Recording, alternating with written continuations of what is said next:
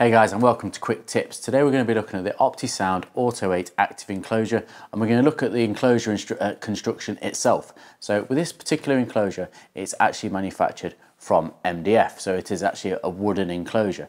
Now what this means is it's got a much better dampening factor. So the resonance on this is much less than you get from a standard steel or cast aluminium enclosure that is normally built from with these underseat enclosures. What also we have here is a port on the side. Now a port is not normal on this type enclosure, which means that a type enclosure like this with a port means you can get a greater output than you would from a sealed underseat enclosure. And that there is a quick tip about the OptiSound Auto 8 active subwoofer.